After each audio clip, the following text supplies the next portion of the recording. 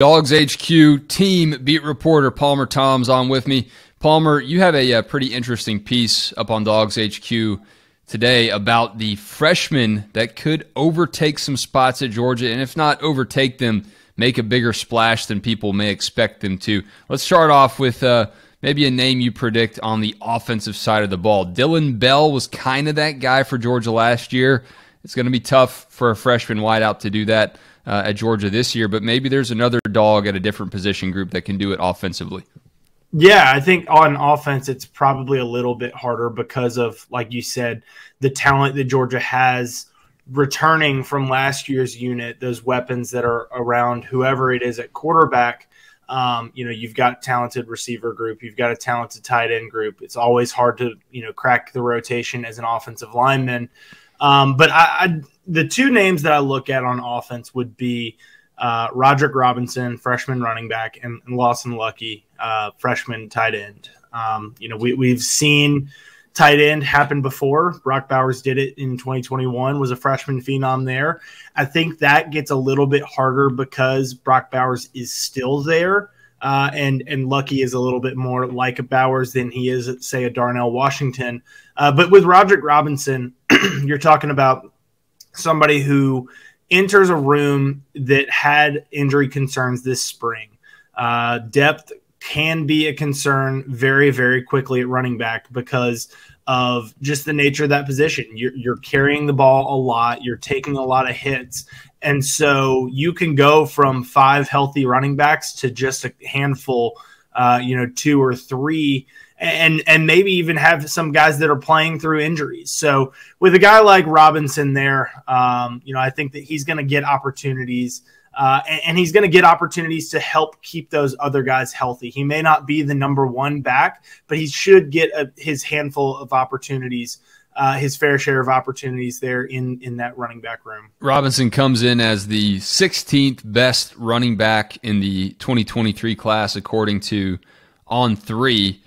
The other thing, Palmer, about Robinson to me is Mike Bobo is the uh, OC again. And Bobo has a pretty good track record with freshman running backs at Georgia, uh, just historically. I don't know how much credit you want to give to him specifically on that, but he's shown that his offenses can highlight and use and uh, make some pretty good hay out of a freshman running back. You go back to Todd Gurley, Nick Chubb, and Sony Michel. that's pretty good company. So uh, I think with that schedule opening up pretty soft and with the uh, windows there with some Georgia running back injuries, I think Robinson could shine as well. All right, how about on defense, man? Yeah, this is if if you were to ask me who is going to be Georgia's freshman of the year, um, which we did in a roundtable discussion over at Dawgs HQ today. Um, this is the guy that I would go with, and and it's Damon Wilson, um, outside linebacker. Um, you know, obviously that's that this is the side of the ball. Defense is is the side of the ball where Georgia has recruited better. Um, ironically, they've put more players into the draft from the offense over Kirby Smart's time. Uh, but defense is is the bread and butter of, of Kirby Smart Georgia Bulldog football. And Damon Wilson fits that mold. He is college ready uh, coming out of high school, five star linebacker out of South Florida. Uh, somebody that I think is going to step into that outside linebacker room and contribute right away. Uh, you lose Nolan Smith, you lose Robert Beal, MJ Sherman transfers out. Uh, you know, there are three guys that, that were highly touted or, or, you know, big time players for Georgia over the last several seasons. Um, you know, you, have got Chaz Chambliss. He is a veteran, but he's a third year um, you know, it, it's not like he's been around, you know, four or five seasons. He's just going into his third year. You know, this this was just his second spring with the team. Um, so he's still growing and developing, and he's never been, you know, that that every down starting outside linebacker for Georgia. Um, so you know, in that room, you've you've got guys that are going to have to grow up and I think that that creates an opportunity for a guy like Damon Wilson to step in. Um, you know, Marvin Jones Jr., a fellow South Florida five star, uh, you know, is in that room as well, and, and certainly is somebody that is going to be asked to do more as he goes into his second season. Darris Smith, a, again, another second year player that's going to be asked to do more. But I think that with Damon Wilson, you know, and, and this class of 2023 for Georgia. You know, the number two ranked class, one of the biggest needs for them there was outside linebacker. They signed three guys there Damon Wilson, Sam M'Pemba, and Gabe Harris. Uh, and, and all three of them were on campus this spring.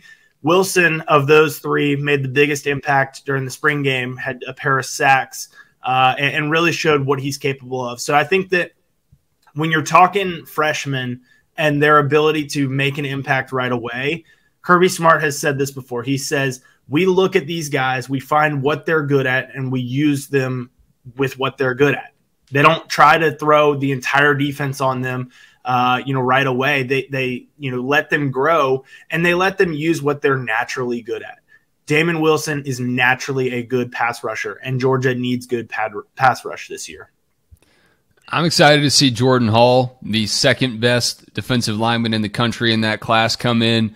Um, that's a that's a deep position group, and it always is at Georgia, and it only gets deeper every year that Kirby Smart has an opportunity to recruit this program and build up the position groups that he loves the most. He was on the uh, the line of scrimmage, of course, and in that secondary, we saw Malaki Starks as a true freshman uh, really catch on to that defense early on in the year. Had some stumbles, and that's the thing to look for. Whether or not these guys catch on quickly, it doesn't mean that they can't plateau, take a step back. It's hard to learn this defense. There's a lot going on. It's like the NFL. But if you can take that step on defense as a freshman at Georgia, you're probably a dude. Appreciate it, Palmer.